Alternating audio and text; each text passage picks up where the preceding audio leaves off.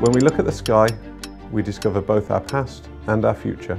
It challenges our imagination to its extremes to think bigger, bolder and further beyond our earthly bounds. By using telescopes and looking at these objects or galaxies or clusters of galaxies or even the, the whole cosmological web of structure, uh, you really test fundamental physics. The Centre for Astrophysics at the University of Waterloo is a new initiative um, to bring together researchers and provide the support uh, that we need to do astronomical research. This collaboration means it's great to talk with one voice for Waterloo and we can use that one voice to try to get involved in other experiments, to bring in people to really enhance the research that we do.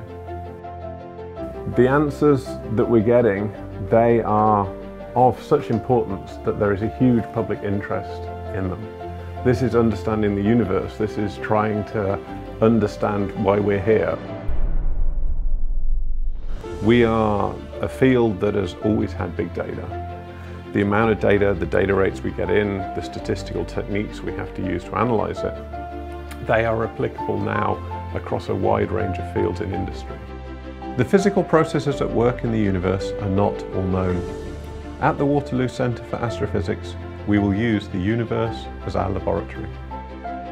We really want to set up an exciting research intensive atmosphere here and we can really answer these fundamental big questions in the universe. What is dark energy? What is dark matter? How do galaxies form? How do they evolve? How do we understand what we see through our telescopes? Let's find out together.